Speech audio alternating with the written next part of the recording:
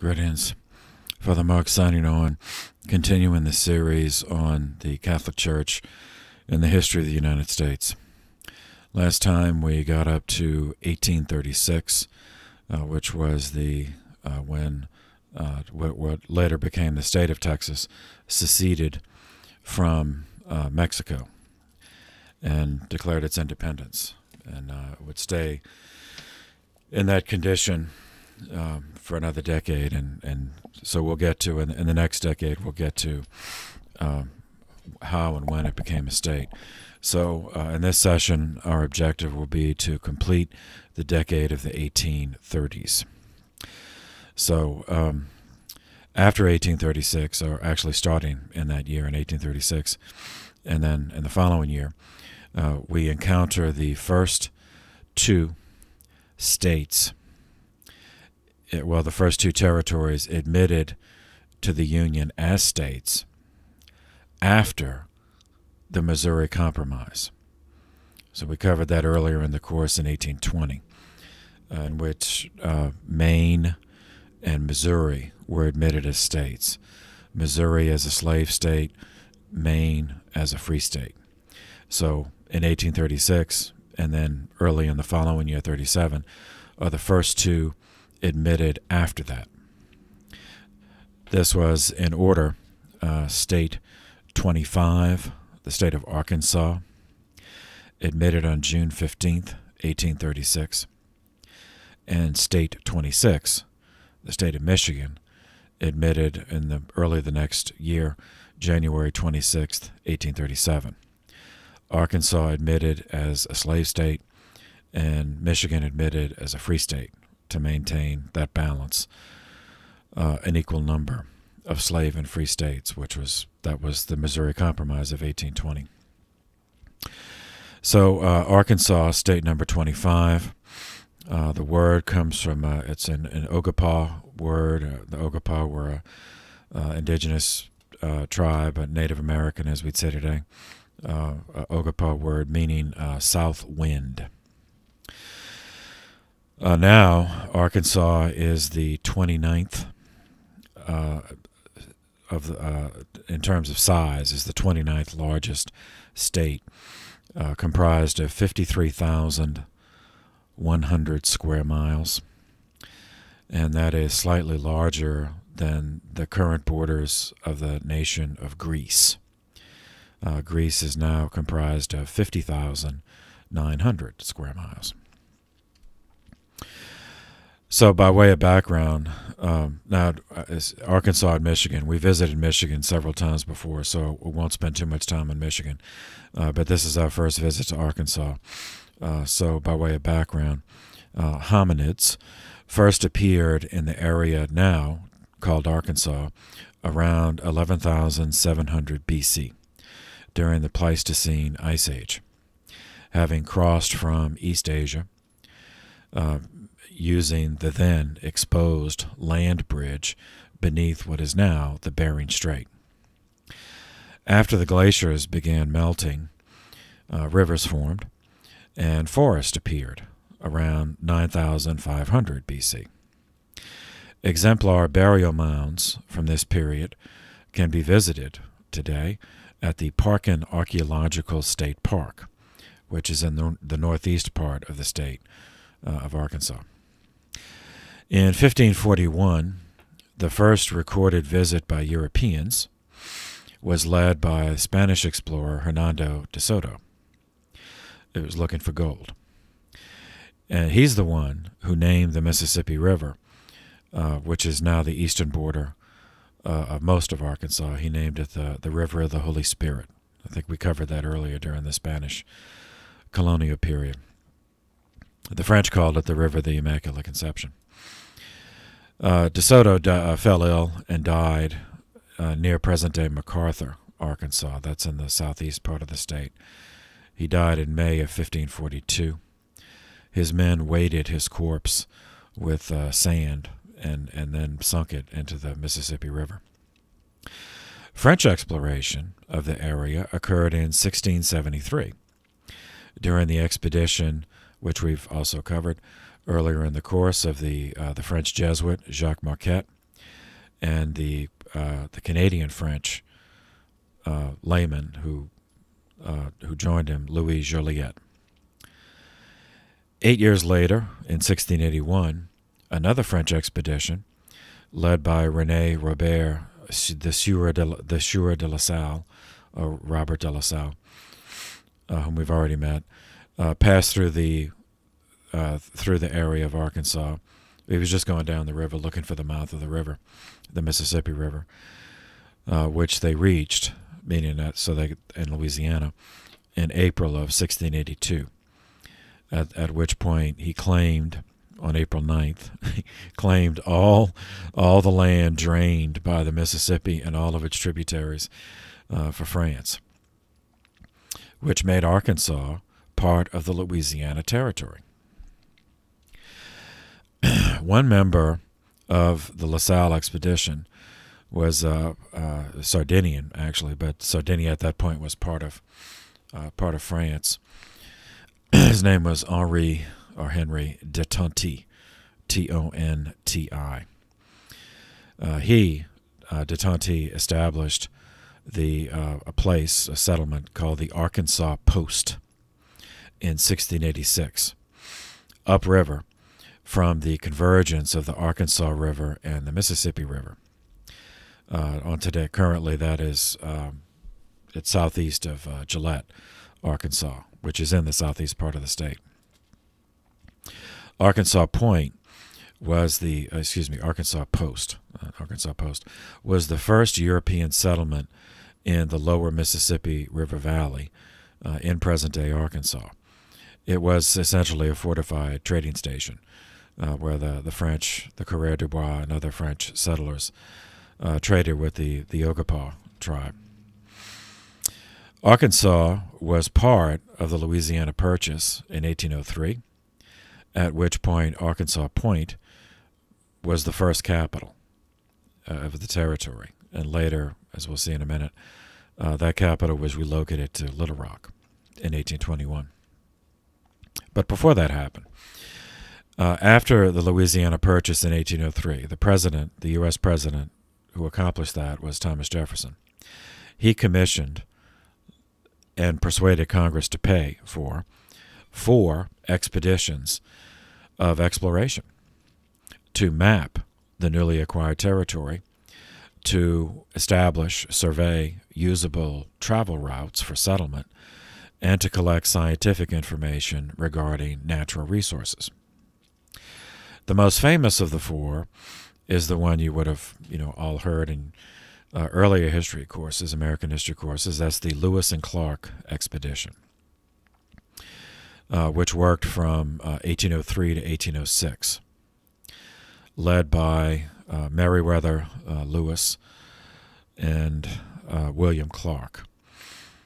And they, they mustered at St. Louis, Missouri, on the Mississippi River, and, and pointed west, uh, going to the Pacific, uh, they, which they reached at the Columbia River uh, near present day Astoria, Oregon. For Arkansas history, the second of the four Jeffersonian expeditions was more important. As Lewis and Clark never never went to Arkansas, they went the other way. But the second one was the Dunbar Hunter expedition of 1804, named for uh, two uh, Scottish immigrants, uh, you know, immigrants from Scotland. Uh, one, uh, William Dunbar, who uh, became a merchant, settled in Mississippi, was a plantation owner, a naturalist, as they would have said then, someone, an amateur interested in history. He was also a member and a published author for the American Philosophical Society, which is how he came to the attention of, of Jefferson. Uh, the other guy, George Hunter, also from Scotland, but he settled in Philadelphia, where he earned a reputation as a chemist as well as a naturalist. On March 13, 1804, President Jefferson commissioned this Dunbar Hunter expedition to explore the lower uh, Louisiana Purchase, which you know lower in the in the sense of elevation, so the uh, uh, southern uh, southern Louisiana Purchase. Although we'll see, I mean Arkansas is not all low. Uh, part of it is, but Uh, it also contains mountains. So this expedition departed uh, on um, uh, also from St. Louis on October 16th, 1804, with a party of 15 for what turned out to be only a three month exploration of the Red River, the Black River, and the Ouachita River. The Ouachita and the Black River, the same river. It just it just it changes names. Um, uh, they recorded the first chemical analysis of Hot Springs, Arkansas, which is uh, southwest of the center point of the state. And uh, that also is now a, a national park, Hot Springs uh, National Park. The third of Jefferson's expeditions included both Arkansas and Louisiana. This was the Red River expedition of 1806. The Red River was once a tributary of the Mississippi River, but you know the river courses they, they move over time. So now the Red River is 1,300 miles long. It is a tributary of the Atchafalaya River. And the Atchafalaya is a distributary, flows out of the Mississippi to the Gulf of Mexico. But so the Red River enters the Atchafalaya and then goes to the Gulf of Mexico. The south bank of the Red River formed part of the U.S. Mexico border uh, until after the Mexican American War, which we're going to cover in a future session. Um, that war lasted from 1846 to 1848. So until that, until the conclusion of that war, the South, the, the Red River was the border between uh, the Louisiana Purchase, which from 1803 was part of the United States, and and the Spanish, well, Spanish Mexico, which they referred to as New Spain, was the you know the province of New Spain. Uh, currently, the uh, the Red River has two sources uh, that both arise in the Texas Panhandle, flow east, uh, where it serves as uh, as part uh, as the border between Texas and Oklahoma, and then a short portion of the border between Texas and Arkansas. Then enters Arkansas, turning south near Fulton, and then enters Louisiana, where we've encountered it already when we covered uh, the Natchitoches settlements. And uh, in Louisiana, further south, it, inter- it intersects the Atchafalaya. The soldiers of the 1806 expedition were led by uh, Captain, Army Captain Richard, Richard Sparks. The scientists were uh, one was an astronomer who, who was also a surveyor named Thomas Freeman uh, and uh, the other, the, the botanist and ethnographer, was actually a medical student from Pennsylvania named Peter Custis, C U S T I S. The 24 member Red River expedition departed uh, on April 19, 1806, from Fort Adams, which was near Natchez, Mississippi, and turned uh, into the uh, then they, they turned to go find the Red River. When they got the river, they followed it upstream west. They entered Texas, which was then, um, in 1806, was still a, a part of, of Spain. Therefore, on July 28, 1806, they were intercepted by Spanish troops. Uh, only 615 miles into their journey, near present New Boston, Texas. Uh, that's seven miles south of the current Arkansas Texas border. And the Spanish troops are like, you know, dude, what, you know, this is this is an armed expedition. You know, it's like, okay, did you did you arrange the, arrange this with the king, or you know, which of course they had not. Uh, so that that this encounter ended, uh, you know, a, a premature ending to the Red River expedition which led to the fourth of the Jeffersonian explore, exploration missions, the Pike Expedition, 1806 into 1807, led and named for named for the leader, who was a lieutenant, an army lieutenant, uh, who was promoted to captain during the expedition, named Zebulon Pike, P-I-K-E, Jr. Zebulon Pike Jr. Uh, this expedition explored the western Great Plains and the Rocky Mountains. Uh, well, not all of them, of course, that, that you know, that, uh, but the the portion of the Rocky Mountains that are in the present day state of Colorado. Among the accomplishments of this expedition, uh, they documented, uh, the surveyed and documented the highest peak of the southern front range of the Rocky Mountains. Uh, this was the 14,115 foot granite and feldspar prominence that is now designated as Pikes Peak. 12 miles west of present day Colorado Springs, Colorado. The enthusiastic Captain Pike committed the same breach as his as the previous expedition by wandering into Spanish territory.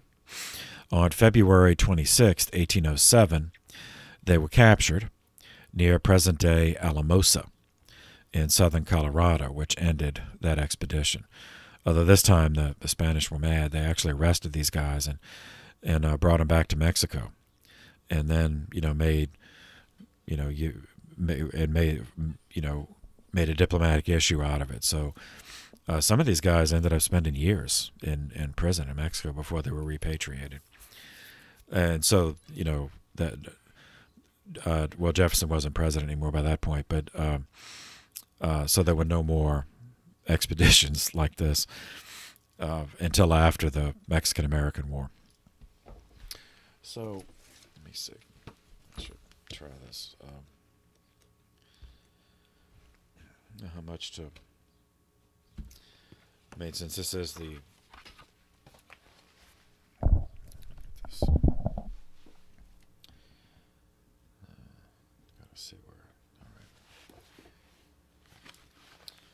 So um, this this is the United States. I, I, I don't want to insult anyone, you know, but I mean, obviously, I think you.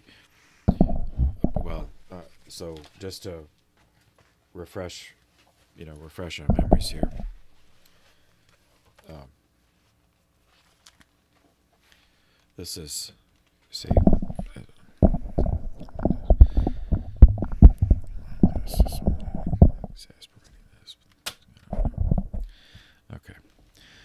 so uh, here we have Louisiana. See down here. And here's the Mississippi.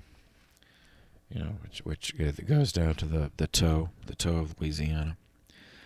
You follow it up, and then uh, here's Arkansas. You see the eastern border of Arkansas is is the Mississippi River. And then uh, the other state that was admitted with Arkansas is Michigan, up here which is uh, uh, between the two of the, the Great Lakes. And we'll talk about that in a minute. But the Louisiana Territory originally went all the way from the Gulf to the Great Lakes, as we covered uh, before. And here, while I have this out, here's Little Rock, which is, uh, I'm going to talk about in a minute, is the capital of Arkansas. Now, uh, I think I have another one that you can see the topography better.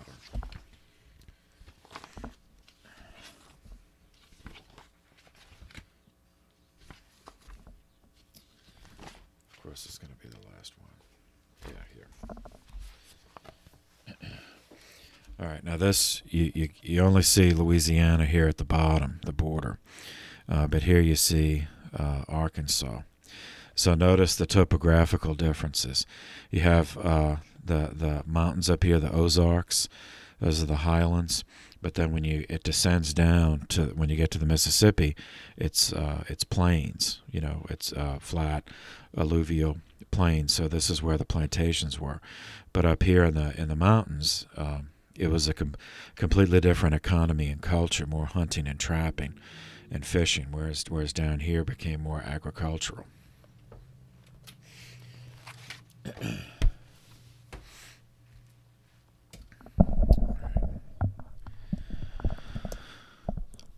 okay. Um, so uh, that the expedition ended in 1807, the, the Pike expedition. Twelve years later, on March 2nd, 1819, a portion of the Louisiana Purchase applied to Congress to be admitted to the Union as the state of Missouri, in which slavery would be would be legal. Slavery would would exist. Now we covered this earlier, so I won't repeat all the details. Just recall that it nearly triggered the Civil War, which was only temporarily averted by the Missouri Compromise of 1820. The significance for Arkansas is that after uh, when Missouri was entered was accepted into the Union in 1820, the southern border of Missouri became the the northern border of Arkansas, the Arkansas Territory, and that is the uh, latitude 36 degrees 30 minutes north, which it still is. Eleven years later, in 1831, some elements in the Arkansas Territory began organizing to draft a constitution, which was a requirement, a preliminary requirement to apply for statehood. A territory had to have at least uh, 60,000 members, 60,000 people uh, resident, and then they had to write a constitution and then submit it, you know, when they applied, uh, submit it to Congress to apply for statehood. And as I said earlier, this was the first such first time such an application was made after Missouri and Maine were admitted as part of the Compromise of 1820. In order to uh, maintain the balance of slave states and free states, and uh, following the geographical stipulation of the Missouri Compromise, Michigan, it was arranged that Michigan in the North would be admitted to the Union as a state in which slavery would not exist while Arkansas would be admitted as a state in which slavery did exist. President Andrew Jackson signed the bill, creating the state of Arkansas as the 25th state of the Union on June 15, 1836. In terms of church history, a prelate whom we've already met visited Arkansas in 1820, the second bishop of Louisiana and the two Floridas. But remember, Arkansas was part of that diocese because Louisiana at the time went all the way from the Gulf to the Great Lakes. And this was the Most Reverend Louis Guillaume Dubourg, D U B O U R G. Vincentian priests served the area that is now Arkansas, uh, as well as secular priests who were trained at their seminary, St. Mary at the Barrens in Missouri, established by Dubourg two years earlier. Fourteen years later, Congress passed the. Now, I know this doesn't sound right, so but it, it passed a law called the Indian Non-Intercourse Act. All right, now I know you think I'm making this. No, no, I'm not making this up. This currently exists. This is codified in, in the U.S. Code, uh, 25 U.S. Code, uh, Section 177 in part, uh, this this established Indian Territory, as as it as it was called, uh, sort of, kind of. It it's where the current state of Oklahoma exists, uh, which which at this which at this point was not a state, but um, what later became the state was Indian Territory. Though I say that with hesitation because the situation with the Indian reservations, as they were called, was and remains far more complicated than that.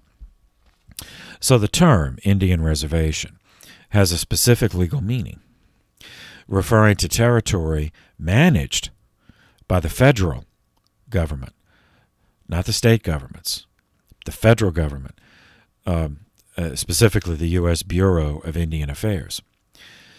So that like regardless of what state the reservation is in physically, uh, the, the those on the reservation are not bound by that state's law. Instead, they're they're they're bound by federal law. Now, of course, there are some you know federal laws where the state laws are the same. Uh, so this is this is how you know the in states where gambling, for example, is illegal or during Prohibition, where where where alcohol was illegal. Uh, in the states, gambling could take place on those reservations. Uh, okay, so currently, uh, this bureau uh, recognizes 574 tribes. Uh, na- you know, Native American tribes or indigenous, you know, descendants of the indigenous people, and allocate. It recognizes allocation of 326 reservations. So 574 tribes, 326 reservations, territorial reservations. So that the, the reservations total 87,000 square miles. Now that's about the size of the state of Idaho, but the, these 87,000 square miles are not contiguous. Like you know, that they're all, they're in multiple states. Now most of them are west of the Mississippi, not all, but most of them are. Uh, but it's non-contiguous. Now, why is there a difference? Why doesn't each tribe have a have a reservation? Well, there's some tribes that share reservation. Like one reservation will have multiple tribes on it because the tribes are very small, while other tribes have no reservations at all. Currently, uh, at least last time I looked this up, uh, which was the last census, but that's the 2010 census. So the 2020 census, last time I looked up, it wasn't fully processed down to this level. So yeah. But as of that previous time, uh, there are there 2.5 million Native Americans, meaning descendants of the indigenous people, live within the current borders of the United States. So that includes Alaska, you know, which is part of the United States, Alaska and Hawaii, which are part of the United States but non-contiguous. And Alaska does have many, many of the, you know, there. Now, of those two and a half million, one million live on reservations. Okay, now, uh, one of the secular priests trained by the Vincentians for service in Arkansas was a Father Richard Bole, B O L E. He established St. Mary's Mission Church, five miles from the present Pine Bluff, Arkansas. In 1838, he persuaded five Sisters of Loretto to relocate there. You know, they, they had been in Missouri, then well, Italy, then Missouri, then you're gonna, and there uh, at St. Mary's Mission, Pine Bluff, they established the first Catholic school within the borders of, of what is now Arkansas. Five years later, on November 28, 1843, the state of Arkansas along with the Indian Territory that is now the state of Oklahoma, were formed ecclesially into the Diocese of Little Rock. Little Rock is the name of a rock formation along the Arkansas River, near the geographical center of the current state. I think I showed you in the map where Little Rock is. um, and then uh, in 1821, the capital of Arkansas was, was moved from Arkansas Post to Little Rock, and it's still that's the capital today. The first mass in Little Rock, uh, uh, the settlement of Little Rock, was offered nine years later in 1830 by a secular priest, Irish immigrant, uh, Father Peter Donnelly, serving the Diocese of St. Louis, Missouri, to the north he used a room over uh, a store, over a you know a, a grocery store, uh, Duggan's Duggan's grocery store, which is at the corner. Well, was at the corner of Second and Main Street. This small Catholic congregation then purchased a building to use as a church uh, on East Markham near Third Street. Then the following year, November 7th, 1831, the city of Little Rock was incorporated on the southern bank of the Arkansas River. The founding bishop of Little Rock was another Irish immigrant priest, the Most Reverend Andrew Byrne. Uh, that's B Y R N E, the Irish spelling. Andrew Byrne was born in County Meath, Ireland, the son of Robert and Marjorie. Baptized Andrew because he was uh, born on November 30th on the feast of St. Andrew. It was his misfortune to be born at a time in Ireland at a time when the island was under the Anglo Protestant occupation of Great Britain, meaning he had, because of the anti popery laws that we covered earlier in the course, he had to leave in order to practice his faith freely and to become a priest. At that point, his life intersects with the story of another prelate we've already met, Bishop John England another Irish immigrant who served as the founding bishop of the Diocese of Charleston. Bishop England ordained Byrne a priest in Charleston on November 11, 1827. Father Byrne served as pastor of St. Mary's Parish in Charleston and in 1833 attended the Second Council of Baltimore, which we also covered, as a peritus for Bishop England. Three years later, in 1836, Father Byrne relocated to New York City, where he served at St. Patrick's and at St. James. Three years later, in 1839, the institutional antecedent of what eventually became St. Andrew's Cathedral in Little Rock was established. Father Bowl, whom we've already met, constructed a church where the arcade building was located and uh, subsequently, this was referred to as the Old French Church. As Arkansas was not yet a diocese, this church was consecrated in 1841 by Bishop Matthias Loras of the Diocese of Dubuque, Iowa, whom we met earlier and we're going to meet again. He, he was a, a French immigrant priest. Two years later, the Diocese of Little Rock was established by Pope Gregory XVI on November 28, 1843, with Father Byrne as the well, Bishop Byrne as the founder. He was consecrated in St. Patrick's Cathedral in New York, as he was serving in that diocese at the time, on May 10, 1844. In the same ceremony, two other guys were also consecrated. One, John McCloskey, he was consecrated as coadjutor, Bishop of New York, and later he would become uh, uh, Archbishop of New York and the first American cardinal, John McCloskey. Uh, and also ordained a bishop in the same ceremony was Father, then ordained Bishop William Quarter. Quarter, as in the you know quarter quarter, you know the the coin. Uh, uh, later, he became bishop of, uh, no, he was ordained in this ceremony as Bishop of Chicago, Illinois. In 1850, uh, Bishop Byrne recruited 13 Sisters of Mercy to establish St. Mary's Academy in the city of Little Rock. And the following year, 1851, they established St. Anne's Academy at Fort Smith.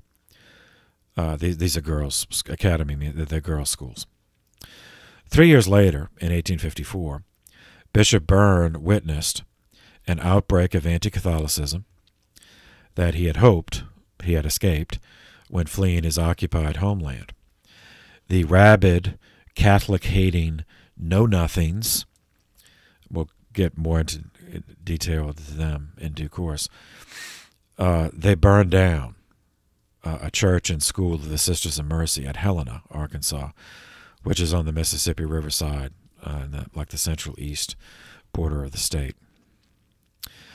Bishop Byrne died on June 10, 1862, during the Civil War, so the diocese remained sede vacante for five years. No bishop.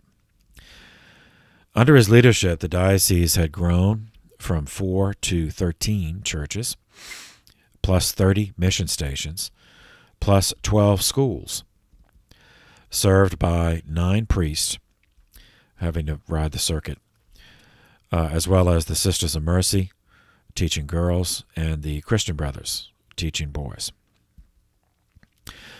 On February 3rd, 1867, the Most Reverend Edward Fitzgerald, another Irish immigrant, Uh, so at the time, he was serving as pastor of St. Patrick's Church in Columbus, Ohio. Became the second bishop of Little Rock. He completed the current Cathedral of St. Andrews on the corner of South Louisiana Street and West 7th Street in downtown Little Rock. He laid the cornerstone 1878 and dedicated the church in 1881. It was and it remains a very impressive Gothic revival structure 140 feet long, 86 feet wide, placed on the National Register of Historic Places, quite properly, in 1986. And we'll meet him again as he attended the First Vatican Council and became the only American to vote against the doctrine of papal infallibility at the First Vatican Council, and one of only two bishops to do so. But we'll get to that later in the course. Uh, state number 26, the state of Michigan, admitted to the Union January 26th, 1837. So we visited Michigan several times previously. So here we'll just summarize a few relevant details regarding statehood. The Michigan Territory of the United States came into existence on June 30th, 1805. Twenty years later, the Erie Canal opened in 1825 allowing settlers from New England and New York to relocate and reach Michigan by water by going through Albany and Buffalo. So that the population in Michigan then starts to to grow. Nine years later, in 1834, all of the lands acquired in the Louisiana Purchase east of the Missouri River that were as yet unallocated became Michigan territory, as it was called. Essentially, the, it corresponds to what is now the states of Michigan, Wisconsin, Iowa, Minnesota, and a large portion of the two Dakotas. Michigan was accepted as state number 26, as I said in 1837. Initially, Detroit was the territorial capital. On July 3rd, 1836, in preparation for Michigan being admitted, some of the territory was carved out um, to create the Wisconsin Territory. And that consisted of the present day states of Wisconsin, Minnesota, and Iowa, and the eastern portion of the Dakotas. Uh, when Michigan became a state, uh, it included the Upper Peninsula. Uh, the western border of the Upper Peninsula was marked at the Montreal River on the Lake Superior shoreline, and the uh, Menominee River on the coast of Lake Michigan. Detroit remained the capital of the state until 1847, when Lansing, Michigan, became uh, became the capital. The name Michigan is derived from an Ojibwe word, uh, Michigami, meaning large water. Currently, Michigan is the 11th largest state of the Union by territory, measuring 96,700 square miles. Uh, by comparison, the United Kingdom is 93,600 miles. Michigan is the only state comprised of two peninsula. The Upper Peninsula, conventionally referred to as the UP, is separated from the Lower Peninsula by the Straits of Mackinac, which is a five mile long channel that connects Lake Huron to Lake Michigan. Uh, Michigan is bordered by four of the five Great Lakes, plus Lake St. Clair, hence, you know, the name, large water. Uh, let's see.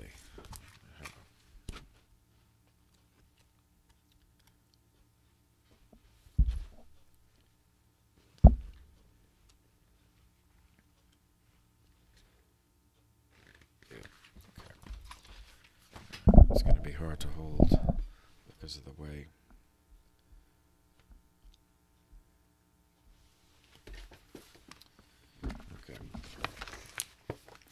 All right, so um, You see uh, Michigan between the lakes. And so you have the, the two peninsula, the upper the upper peninsula, the UP, and the lower peninsula connected by the strait. You see that goes between the two lakes, two Great Lakes. So up there, and uh, then we talk about we'll get to Wisconsin later, which is going to be one of the triggers for uh, the Americanism uh, dispute in the later 19th century.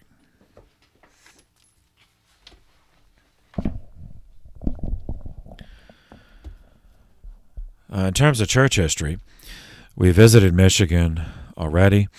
Uh, was under the ecclesiastical jurisdiction of the Diocese of Quebec uh, when all that was uh, when Canada was a French colony.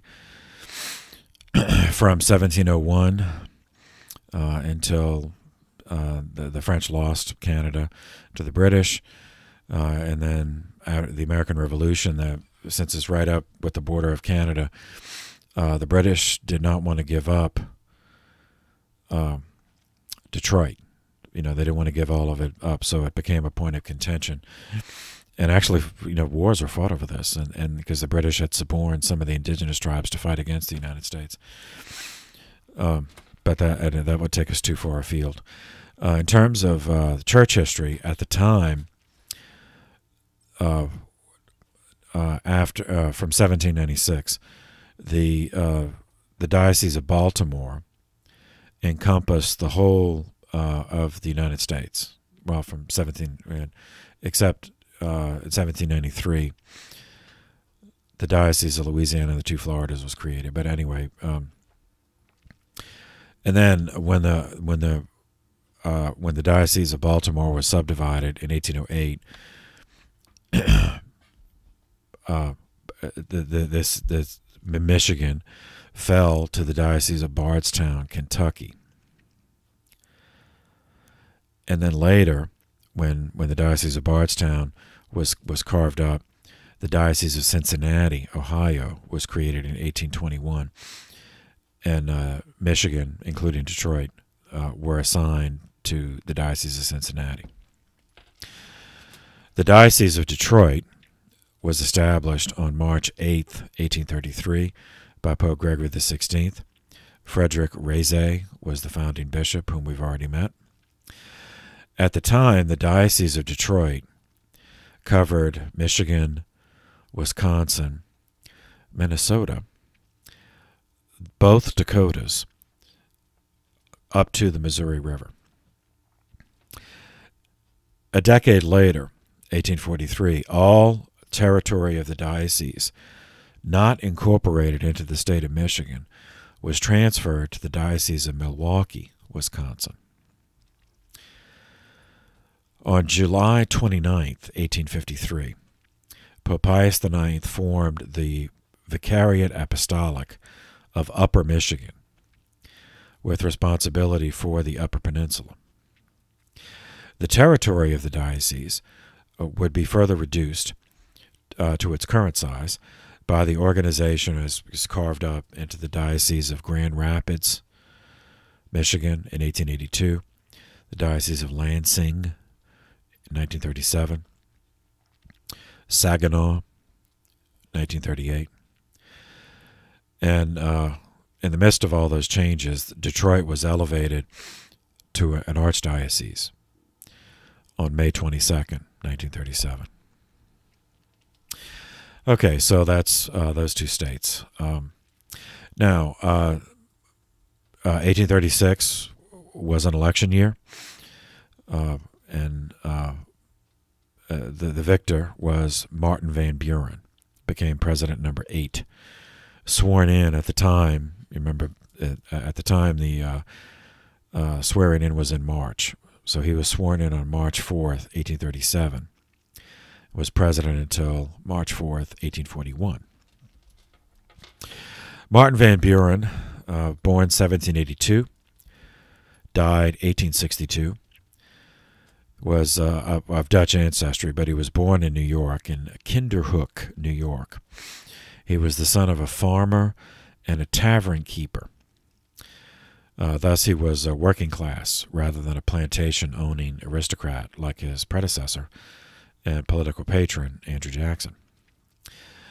Now, I should say for those you know fans of a certain kind of, of history, uh, there is a persistent rumor that Martin Van Buren was actually the illegitimate son of Aaron Burr. I'll just leave that out there. But you know, there are those who compared the two, their height and you know the general physiognomy, and and say, well, where was he, and where you know at the time when he would have when Martin would have had to be conceived, and it turns out that works. And anyway, just throw that out there. Uh, and so he studied law. Van Buren did. Passed the bar 1803, entered state politics, became a state senator 1813, attorney general 1816, a U.S. senator 1821. He was a Jacksonian Democrat, an admirer uh, of, of, of Jackson, Andrew Jackson, whose campaign he ardently supported and was rewarded, as Jackson believed in the spoils system. So President Jackson appointed Martin Van Buren as Secretary of State. And Van Buren was a consistent, loyal champion of all Jackson's causes, including pro slavery. But Jackson was a slave owner, uh, but Van Buren and his family, not I mean they never owned slaves. They were working class uh, poor people, and they were Northerners. But anyway, Van Buren continued to support Jackson, even when Jackson's cabinet fell apart over the nullification crisis. That was the tariff issue uh, that we covered uh, previously. I think we did. Yeah, it was 1832. And uh, recall Jackson's own vice president, John Calhoun of South Carolina, actually resigned as vice president in opposition to the tariff. You know, I, I don't, I don't, I don't. Um, for his loyalty, Jackson chose Van Buren to replace Calhoun as vice president. And from that position, he successfully ran for the Democratic nomination after Jackson completed his second term and became the eighth president. Van Buren inherited an economic collapse precipitated by Jackson's economic policies, which we already covered. So Van Buren served only one term. You know, he, he gave, you know, whoever's in office gets blamed whenever the economy crashes. In his defeat, he assured the rise of the new Whig Party, W-H-I-G. Before we continue with that, before we get to that, uh, uh, just staying in the 1830s, uh, there was uh, a development occurred in the late 1830s that would affect the Catholic Church in the United States for decades. It would affect the whole country still to this day, but specifically the Catholic Church and, and uh, attacks against the Catholic Church into the 20th century, including a Supreme Court case in the 20th century. This is the public education movement, or what was called then the common school movement or the free school movement or public schools, you know. All right, by way of background. Oh, I should say at this point, if if, if I were teaching this, you know, if I were teaching civics, you know, to early high school or middle school kids at this point, I would uh, let's see,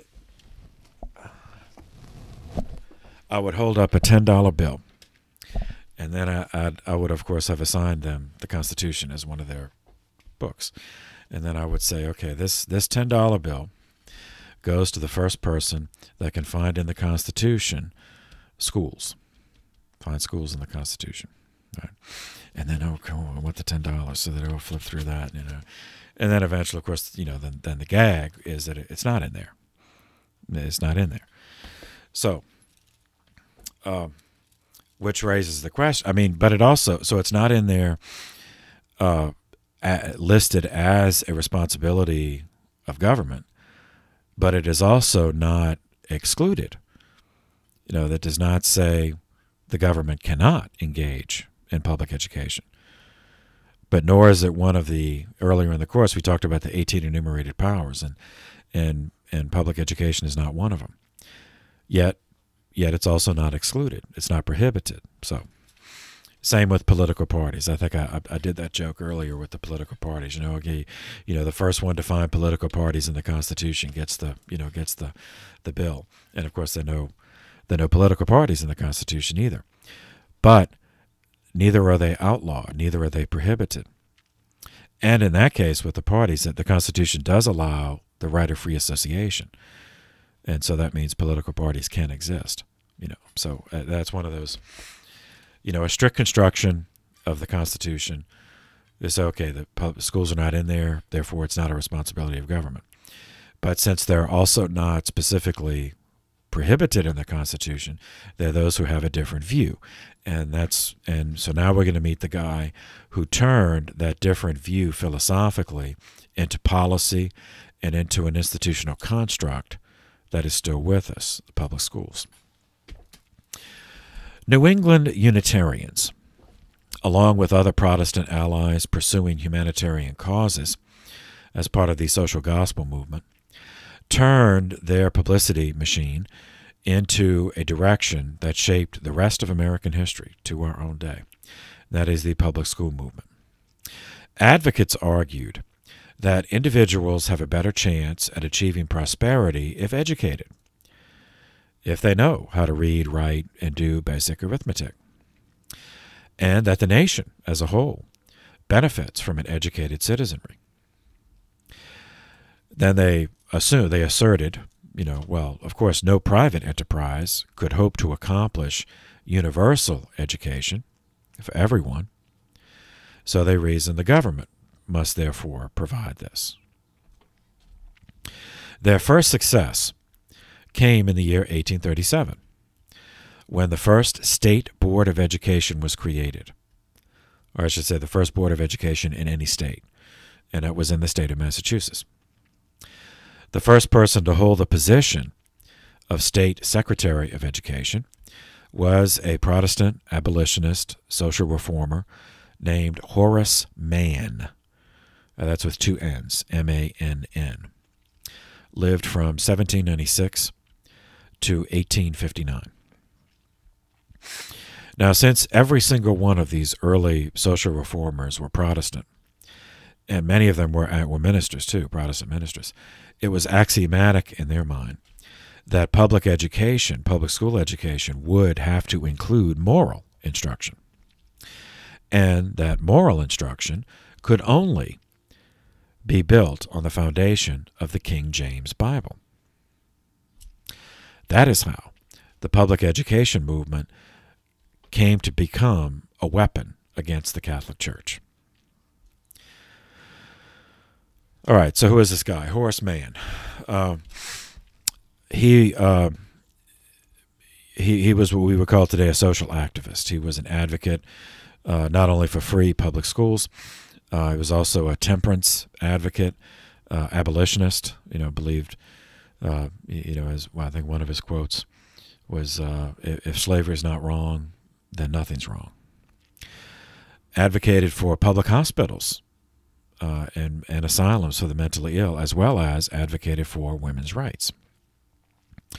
He was born into a Calvinist family, brought up in the Calvinist church in Franklin, Massachusetts. Though as an adult he felt repelled by Calvinist anthropology, the total depravity of man and the image of a vengeful God. Uh, so he, in, in, as an adult, he moved to the Unitarian side of the Protestant spectrum. Uh, attended and graduated from Brown University in Rhode Island. Uh, then attended professional school, uh, uh, law school at Litchfield, Connecticut. He uh, then became a practicing Unitarian. He joined the First Parish Unitarian Church of Dedham, Massachusetts, D E D H A M, in 1823. And in this period of his life, his early professional life, he began networking with other Unitarians uh, and other, you know, social activists pursuing humanitarian causes. His public service work led to public notoriety, which led to election uh, to the Massachusetts legislature, representing Dedham, 1827. There, uh, he successfully, uh, let's see, five years. He stayed five years in the legislature. Uh, he succeeded in obtaining state financial support for a railroad between Boston and the Hudson River, providing jobs as well as infrastructure development. Now, state financial support that the state's not paying for that. It's the, the citizens in the state are paying for that. You know, it, it's through tax theft. You know that that the you know the government, uh, you know, just stipulates that a certain portion of, of, of either tax in a process like a sales tax, or or taxing, you know, a property, uh, uh, you know, uh, real estate. Um, as yet they, they could not tax income because that was originally that was accorded as unconstitutional. But again, the Constitution has contains a process to amend itself. And so later, as we'll see in the 20th century, the Constitution was amended to permit the income tax. Uh, anyway, so uh, just using uh, using tax theft to fund public infrastructure development was not something that Mann pioneered. Uh, we've seen precedents for that with the railroad and with canals. So um, it was a legislative achievement because not everybody agreed, you know, but he did manage to get it passed. But further and more significantly, for our purposes, is Mann obtained sufficient votes to pass a law stipulating public funding for a hospital, a residential hospital for the mentally ill in, in Worcester, Massachusetts. Now, that that certainly is not a wrong endeavor. I mean, you know, that people people who are afflicted with you know with mental conditions that is that's a you know that that's a heavy cross to carry. But going back to the you know just the, the founding documents, the founding documents of the nation uh, again, if I you know, the ten dollar bill and then the Constitution, you know, find it find it in there. Find find government funded hospitals. Find hospitals in here, and of course they're not there.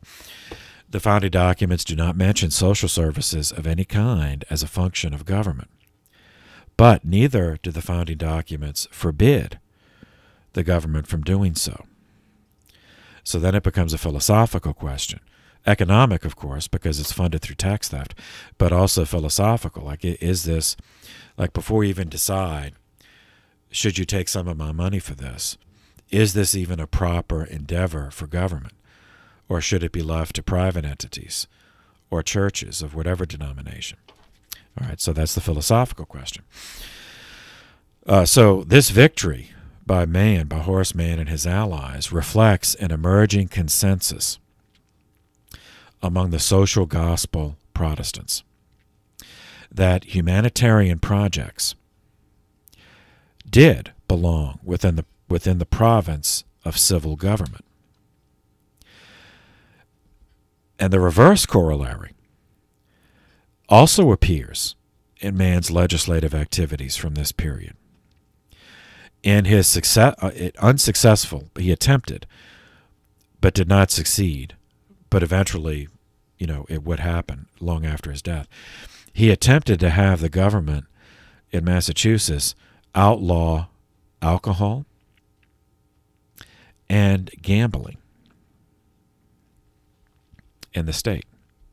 So this reveals that the social gospel Protestant leaders also believed that civil government has a responsibility to suppress activities regarded by them as a vice. Just as with the with the previous example, with, by using you know tax money, take, taking money from the you know the citizens of the state to fund a residential home for the mentally ill, they you know that flows from a philosophy which believes that it is proper for the government to promote activities that these individuals believed were virtuous.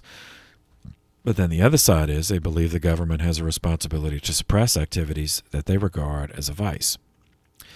All of which has to be funded. So, I mean, the government doesn't just exist as, as some kind of, you know, non non spatial, non temporal abstraction.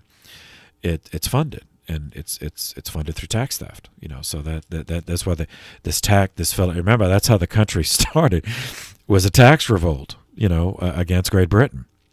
So these this philosophical issue of taxation is going to continue to come up. Now, of course, it, it is it is an economic issue because it involves transfer of, of money. But but underneath that, it's a philosophical issue. You have to answer the philosophical question first. You know, uh, it, it, it, about the nature, what is the proper role of government before you can get to how much money should the government have to do this. Okay, now we reviewed similar legislation, similar similar moral legislation, but previously, but remember that was in the colonial period, especially the English colonies when when the when a, a, a, version of the Protestantism, the Protestant movement, the Anglican Church, enjoyed established status in England and its colonies, with the monarch being head of the church. So, in that philosophical paradigm, it certainly was part. Uh, the, the the church was part of the government. So then it was part of the role of government to to create and enforce stipulations of the moral law as understood by the Anglican version of Protestantism. But Mann's activities in Massachusetts serve as an important historical indicator dating to the 1830s. This, this, this philosophy that government should enforce Protestant morality, even though the government of the country was no longer a colony of England. It was an officially secular republic. And that is in writing, you know, that it is that Congress shall make no law respecting the establishment of religion. Huh? Okay, so these philosophical, I mean, this this is this stuff, it matters, you know. Uh, it, it this is part of it's part of our like we wouldn't exist without that. The country wouldn't exist if this philosophical issue hadn't come up. All right. Uh, uh, 1830, Horace Mann married the daughter of Asa Messer, who was a Unitarian minister and also president of Brown University, Mann's alma mater. Her name was Charlotte. She died prematurely two years later, after which Mann relocated to Boston, same state but different city. Uh, that expanded his contacts with other Unitarian activists. He attended the Federal Street Church of the Reverend William Ellery Channing, where he met and married Mary Peabody. She was the sister of Sophia Peabody, who was the wife of the famous American author Nathaniel Hawthorne. Uh, together, Horace, with his second wife Mary, had three sons. When Mann left Dedham and went to Boston, he left the jurisdiction of the legislative district of Dedham, where he, he was representing, so he had to give up his seat in the state legislature. In Boston, though, he continued his activities, so he was elected again, this time to the state senate in 1835. And the next year, he became president of the state senate of Massachusetts. And there he continued his strategy of pushing government funding and enforcement of Unitarian moral objectives. Protestant Unitarian moral objectives. So, government funding, that means tax theft. That means taking money from the citizens.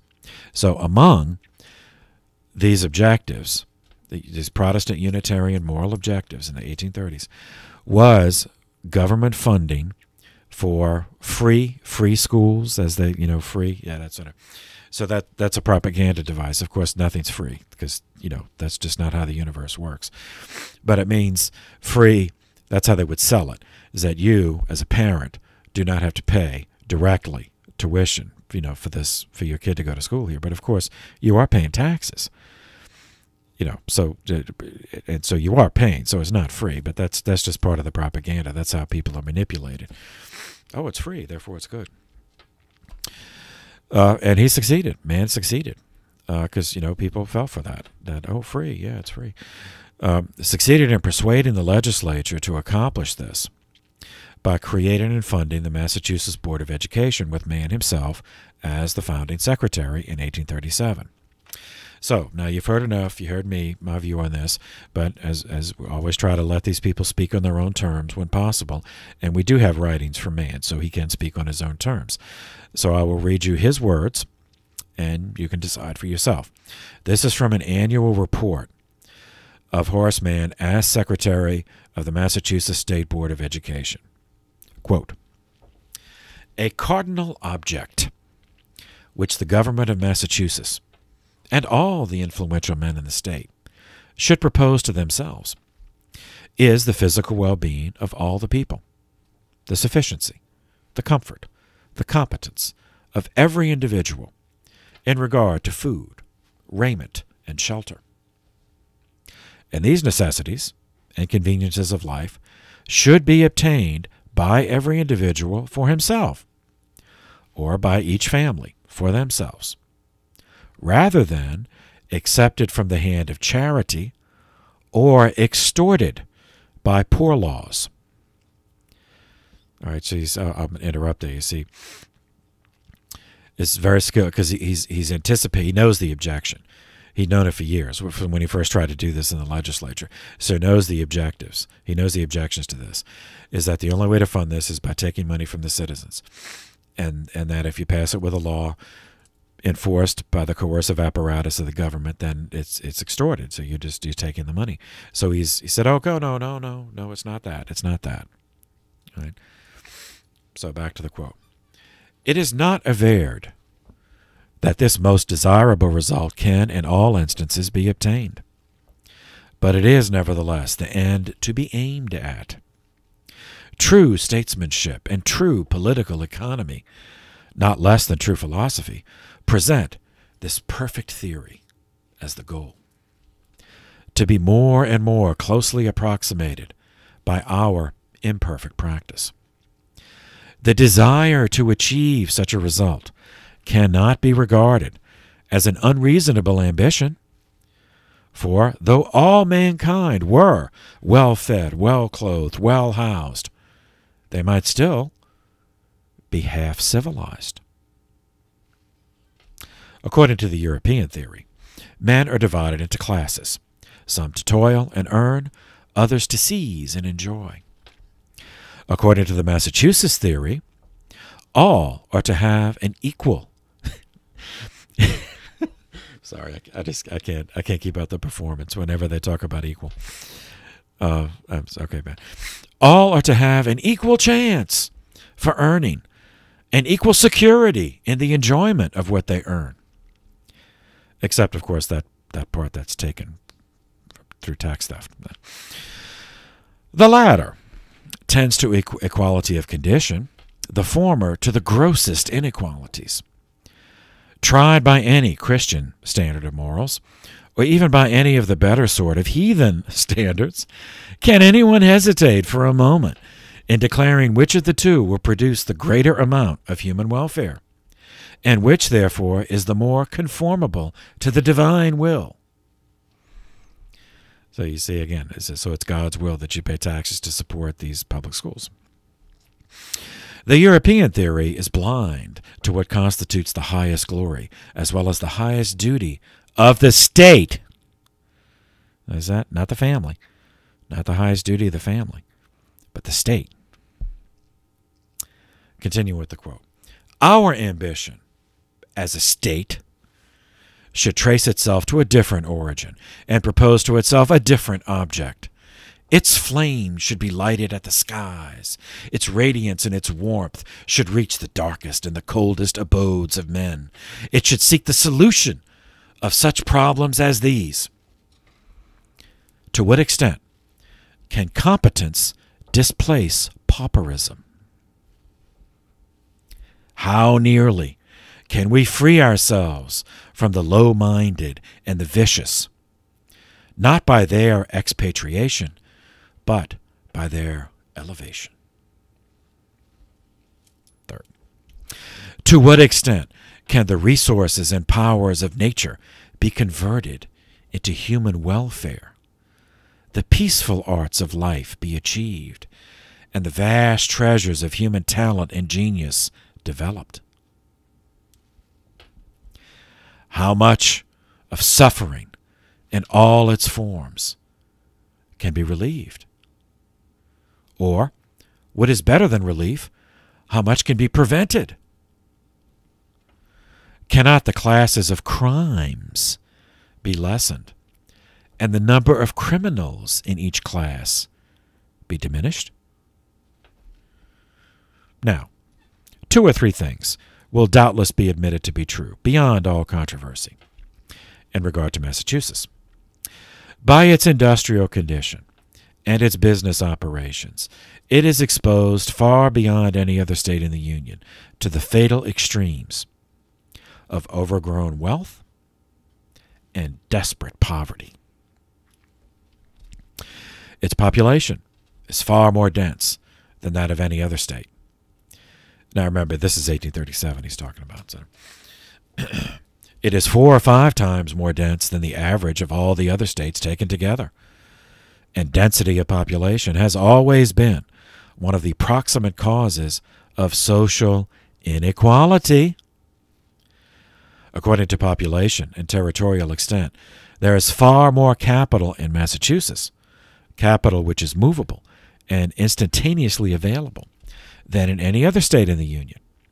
And probably both these qualifications respecting population and territory could be omitted without endangering the truth of the assertion. Now, surely, nothing but universal education can counteract this tendency to the domination of capital and the servility of labor.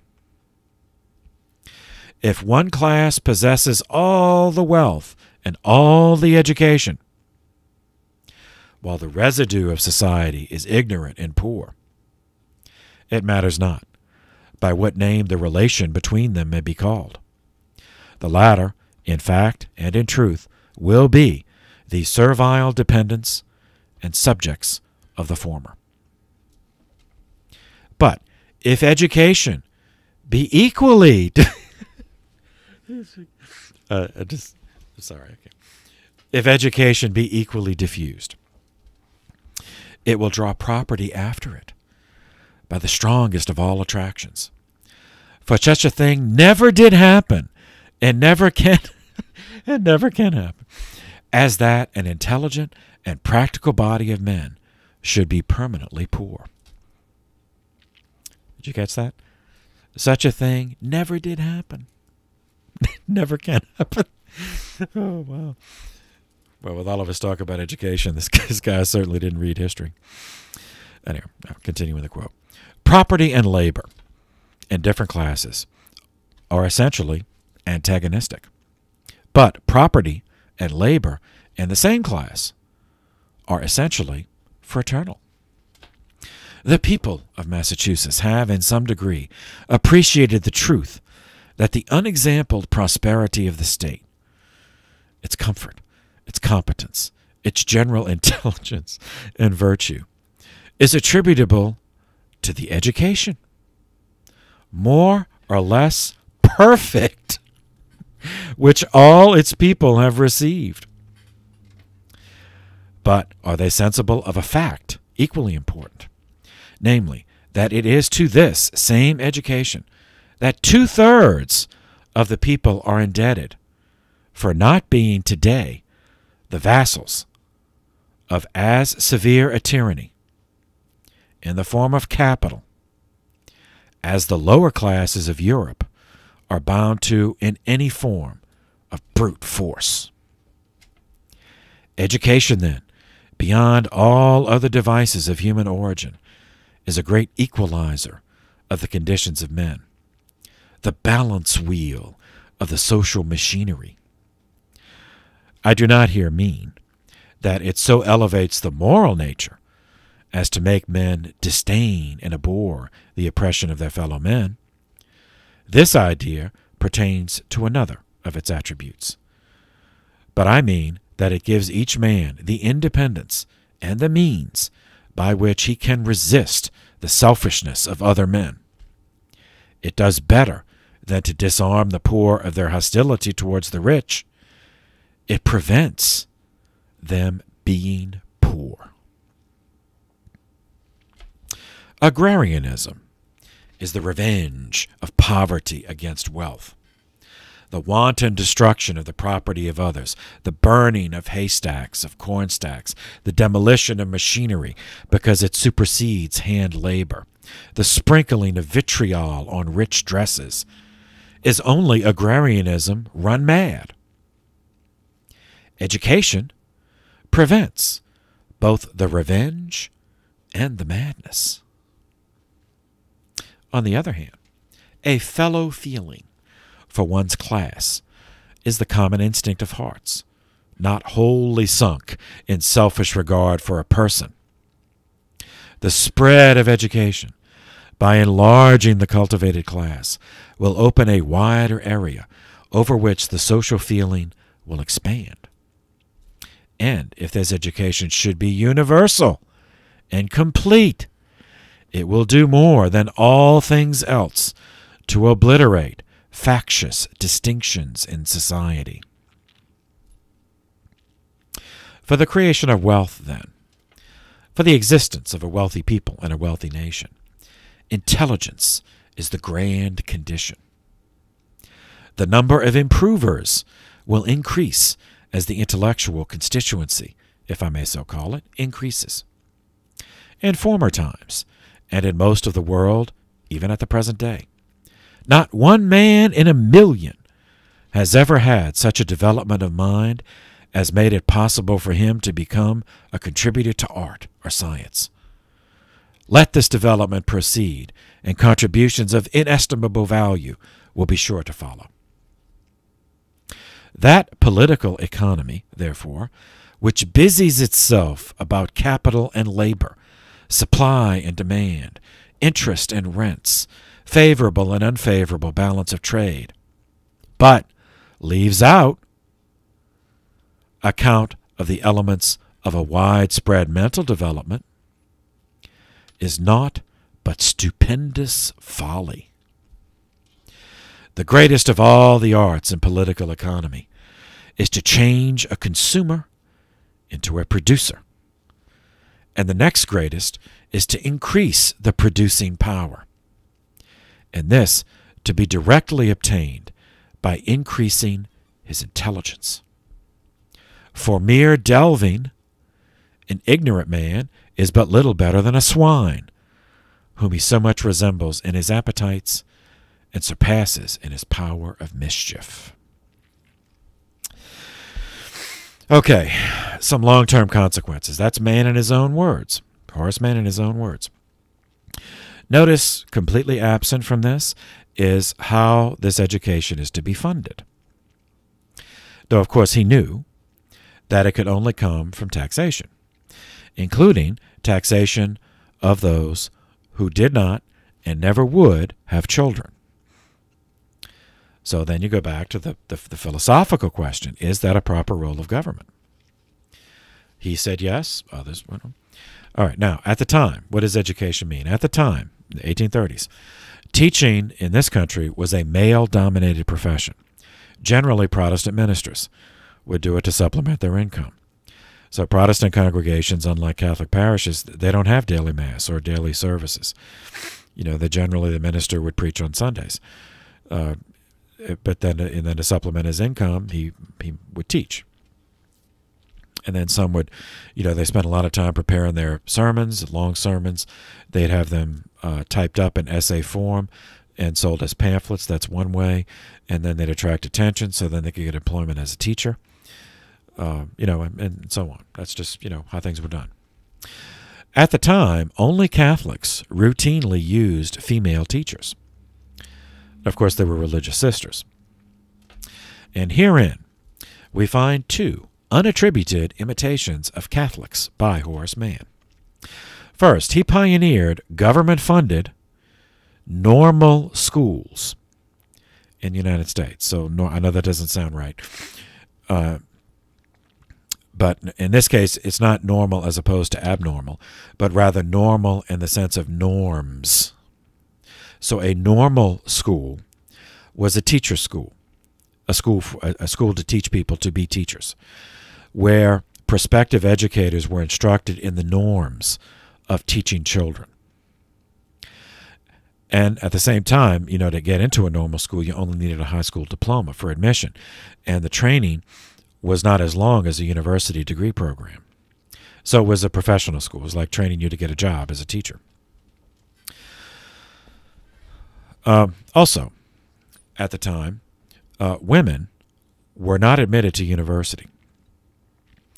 Uh, now there were some there were women's you know specifically women's colleges and that you know for the women of the elite, uh, but in general, uh, the United States the you know the, what we think of as universities Yale you know uh, Harvard originally those were divinity schools. Those were seminaries you know Protestant seminaries. So of course women were not allowed. So attending these normal schools were for the most part women. Uh, and so this led to Mann's initiative led to the feminization of the teaching profession in the United States. The first tax funded normal school was opened in 1839 under Mann's auspices as Secretary of Education. It was the uh, in Lexington, Massachusetts, called the Lexington Lexington Normal School. In 1853, it relocated to Framing, uh, Framingham, uh, forming the nucleus of what still exists as Framingham State University. It's the oldest continuously operated public normal school in the United States. A lady named Anna Brackett attended Framingham and uh, trained to be a teacher, and later she became the first woman principal of a teacher's college outside of the Catholic system, of course, where it was nuns at this point still. Uh, were heavily involved in education. Now, as in all things with regard to education, the Catholic Church provided the precedent from which they all imitated, of course, without acknowledgement. The first normal school, in the sense of a school designed to teach teachers, was in Catholic France. In 1685, Saint Jean Baptiste de la Salle, who was the founder of the Christian Brothers, established the first normal school the École Normale in Reims, France. now, Horace Mann encountered opposition to this public school movement. As not everybody, you know, agreed with this. Opposition from, first, some fellow Protestants who saw this as taking employment from ministers with expensive seminary educations from Harvard, Yale, Princeton, etc and being teachers is one way that they would, you know, that they would pay that off. Second, opposition was from religiously non-aligned Americans who believed that parents were the proper educators of their children, not the government. Third, opponents were those who did not want money they earned taken by the government for anything at all. You know, including schools. Now, one way that Mann got around all this opposition and promoted the public education movement was uh, that it would provide both. One category would be moral instruction, as and then a second category would be elementary education in reading, writing, arithmetic. Moral instruction I remember early 19th century Protestants, it, it just it, it would be incomprehensible to them that moral instruction could come from any any source other than the Bible, and this, specifically the King James Bible. Even Horace Mann could conceive of no proper education without the Bible. Yet, apart from that, he consistently asserted that these free schools, free, free schools, would be non-sectarian that they would not be religious. Now, by that, he didn't mean the same thing we, that is meant today. He meant that they would not be specifically Lutheran or Methodist or Anglican, and certainly not Catholic. But they would be, they would use the Bible. As, as he, he phrased it, the Bible is above any, any sectarian division. Like the Bible is above Lutheran, Methodist, Anglican, or any of those differences. So the Bible can be used by everyone.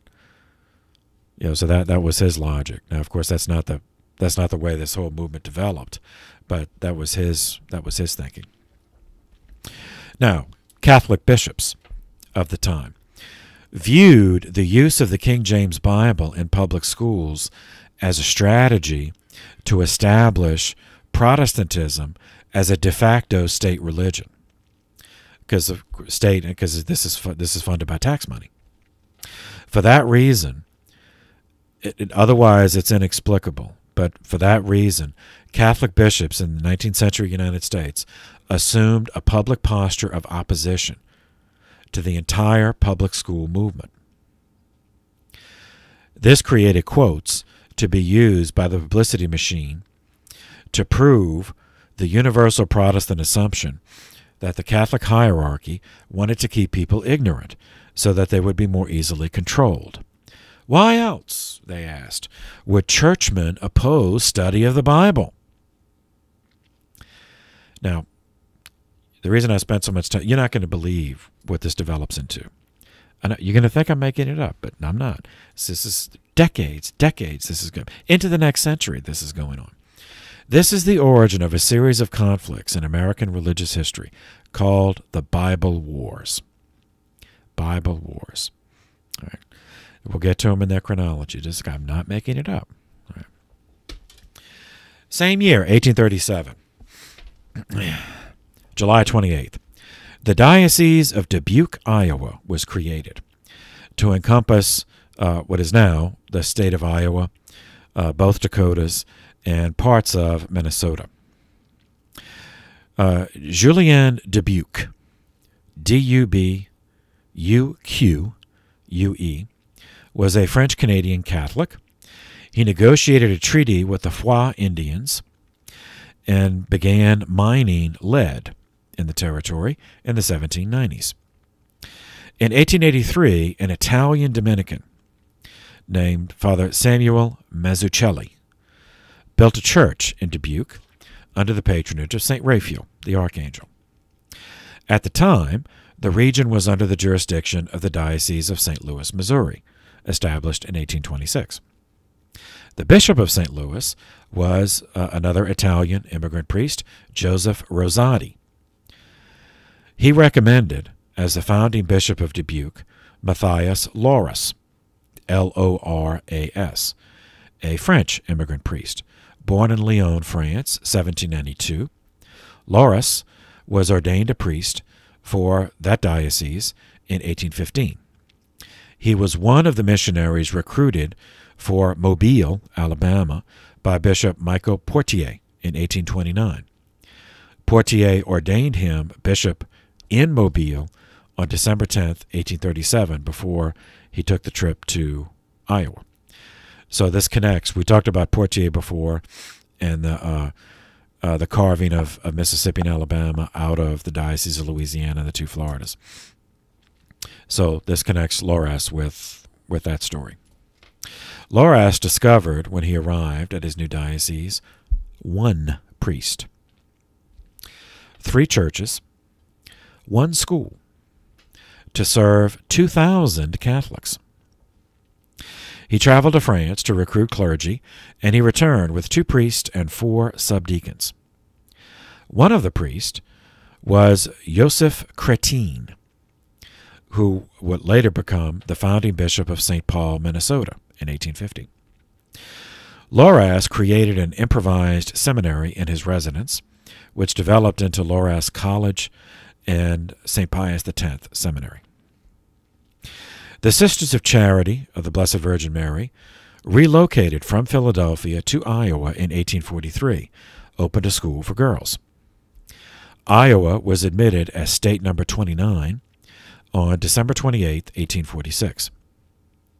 Three years later, 1849, Trappist monks opened an abbey at New Melleray near Dubuque.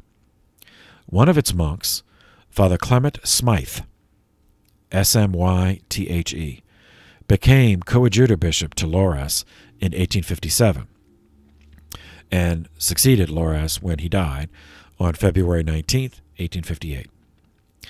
By the time Loras died, the diocese had grown to having 60 parishes, 40 missions, 54,000 Catholics, served by 48 priests. 1838, one year after the public education movement began in Massachusetts, well, I should say it began before that. So one year after it achieved its first success in Massachusetts, also one year after Loras became founding bishop of Dubuque. The Bishop of Philadelphia addressed some misunderstanding fomented by Protestant anti Catholic writers. Francis Patrick Kenrick, K E N R I C K, lived from 1796 to 1863. At the time, this time in 1838, he was serving as coadjutor bishop of Philadelphia. Kenrick was responding to another outbreak of anti Catholic bigotry, which was often accompanied by violence, anti Catholic violence. The trigger for this wave was the publication of a book by an Episcopal bishop in Vermont named Henry Hopkins, focused on uniting all Protestant denominations by identification against Catholicism. The book was published in New York in 1835 under the title The Church of Rome in her primitive purity compared to the Church of Rome at the present day. Bishop Kenrick responded to critiques of Catholic enslavement to the Bishop of Rome with an argument that became standard in Catholic apologetics of the period. Uh, so, this is a, a quote uh, from a work uh, an essay written by Bishop Kenrick titled The Primacy of the Apostolic See and the Authority of General Councils Vindicated. Okay, so this is an, uh, an, an exemplar quote. The key to the whole history of the Middle Ages appears to us to be the sentiment then prevailing that Christian principle should regulate all the departments of government and all the relations of life. We do not think that the authority of the popes over sovereigns is to be accounted for merely by reason of the relations in which they actually stood to them, or to the concessions which had been made by former princes. On the contrary, we trace those concessions and relations to the persuasion, which was universal, that the head of the Christian Church was the fittest arbiter of the respective obligations of princes and their subjects, and the natural judge of all, in what regarded the application of the Christian maxims to society. End quote. Now, this argument is certainly not false, but it is incomplete. Uh, this argument reveals the Americanism implicit in so much Anglo Catholic Maryland ecclesiology. The argument defending the papacy that Bishop Kenrick put forward is purely in the natural, practical order, without reference to the supernatural protections enjoyed by the popes as successors of St. Peter. That is because Kenrick and the Americanists in general followed Bishop John Carroll and did not regard infallibility as attached to the office of the papacy, but rather as a charism of the sensus fidelium, the sense of the faithful. So we'll get to this later, and that's one of one of the reasons why Americanism would be condemned as a heresy by Leo XIII in 1899. Okay, so rewinding to the following year, 1839, October 24th. Upon the recommendation of Bishop Antoine Blanc of New Orleans, that's B L A N C, the provincial of the First Vincentian province in the United States, Father John Timon, T I M O N, was appointed First Apostolic Prefect of Texas. This position is the lowest level in the sense of the entry level of ecclesiastical organization given to a mission territory. An apostolic prefect is not an ordained bishop. He's an ordained priest, but has special faculties to perform the sacrament of confirmation, but not the sacrament of holy orders. Timon did uh, did make a personal reconnaissance of Texas, at least parts of it. I mean, it was too huge for him to visit, you know, every square mile. Uh, but since he was provincial, uh, you know, he, he, was not in a position to give it the kind of attention that only a resident priest could. Um, so he appointed as vice prefect a French-born Vincentian named Father Jean-Marie Odin, O-D-I-N, originally recruited by Bishop DuBourg, so we meet him again, for service in the Diocese of Louisiana and the two Floridas in 1823. And we will meet Odin again. Uh, three months later, December 3rd, 1839, Pope Gregory XVI condemned the, the, the slave trade, I mean the, the commerce of Af- the enslavement of Africans and then and then transporting them across the Atlantic as slaves. The document is uh, in Supremo. And this is an exemplar quote. For the slave trade, although it has diminished in more than one district, is still practiced by numerous Christians. We warn and adjure earnestly in the Lord, faithful Christians of every condition, that no one in the future dare to vex anyone, despoil him of his possessions, reduce him to servitude, or lend aid and favor to those who give themselves up to these practices, or exercise that inhuman traffic by which the blacks, um, so that's the word he used, as if they were not men but rather animals, having been brought into servitude, in no matter what way, are without any distinction, in contempt of the rights of justice and humanity, bought, sold, and sometimes and devoted sometimes to the hardest labor. Further, in the hope of gain, propositions of purchase being made to the first owners of the blacks, dissensions and almost perpetual conflicts are aroused in these regions. So he's referring there to is various um, slave brokers, you know, slave slavers, um, would would would one of the ways they did they harvested, you know, I mean, it, it was that they would uh, uh, take advantage of pre-existing tribal rivalries in Africa, and like they would suborn one tribe, so okay, we'll support you, and then you help us capture guys from your enemy tribe and we'll enslave them. And not only will we enslave them, but we'll take them we'll take them out of Africa altogether. And it's mostly the young, you know, young men, you know, the young people that they, young men and women that they would take, so that would weaken the enemy tribe. So that's what he's referring to here: dissensions and perpetual conflicts. So back to the quote.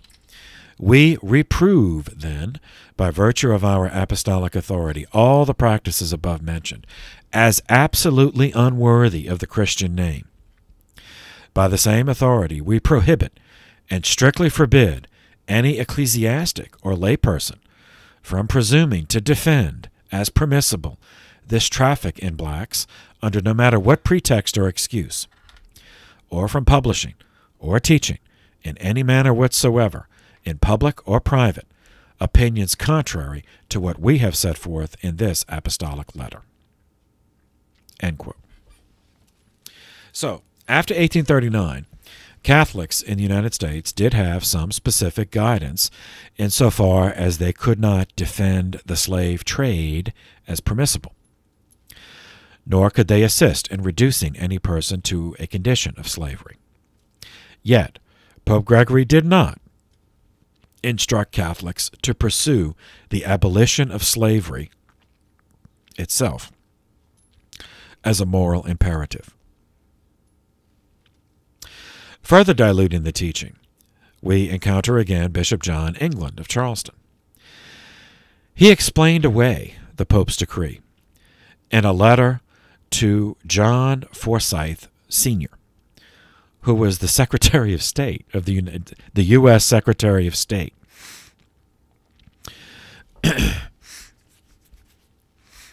uh, so uh, uh, this letter on October 7th, 1840. This is a letter from Bishop England to Secretary John Forsyth. Here's an exemplar quote Sir, I proceed to give additional reasons to show that the letter of our Holy Father, Gregory, the 16th of that name, regarded only the slave trade. It is against this desperate traffic, which Portugal and Spain have so enormous a share that the Pope's letters directed to against which the Pope's letters are directed, and not against domestic slavery, of the existence of which he is conscious, but respecting which he uses no action, and which rest upon a totally different basis, as it is perfectly unconnected with cruelty, such as is above described. Okay, now that that's obviously a ridiculous statement, but that that's that's I'm letting these people speak on their own. So this is what a Catholic prelate wrote to one of the highest ranking officers of the nation to explain away the Pope's ruling. Now, oh, and you might ask why. So John Forsyth was the Secretary of State for Andrew Jackson, and Andrew Jackson was, of course, a slave owner. All right, so back to the, uh, skipping down, back to the quote. Respecting domestic slavery, we distinguish it from the compulsory slavery of an invaded people. The situation of a slave under a humane master ensures to him food, raiment, and dwelling, together with a variety of small comforts. It relieves him of the apprehensions of neglect and sickness, from all solicitude for the support of his family, and in return all that is required is fidelity and moder- moderate labor. Mm. Remember earlier I read some accounts of what life was like on the so this this guy's anyway. Uh, I do not deny that slavery has its evils, but the above are no despicable benefits. Hence, I have known many freemen who have regretted their manumission. Slavery, then, sir, is regarded by the church, of which the Pope is the presiding officer. Not did you like that presiding officer? No, there's a, not to be incompat not to be incompatible with the natural law, to be the result of sin by divine dispensation, to have been established by human legislation, and when the dominion of the slave is justly acquired, but the master be lawful, not only in the sight of the human tribunal, but also in the eye of heaven. But not so the slave trade, or the reducing into slavery the African and the Indian in the manner which Portugal and Spain sanctioned, which they continue in many instances still to perpetuate, and which this apostolic letter has justly censured as unlawful. Okay, explaining it away. So when we get to the Civil War, we'll see I mean, everybody was. I mean, generally the church sided with their region. You know, bishops in the north generally sided with the Union. Bishops in the south generally sided with the Confederacy. Though there were a couple of you know crossovers, but we'll get to that in due course. Okay, that was 1839. So that brings us to the end of the decade of the 1830s. So we'll stop there. Pick up next with the 1840s, uh, and we'll see uh, Catholic missions into what became the state of Wyoming. So for now, thank you for your attention. This session is adjourned.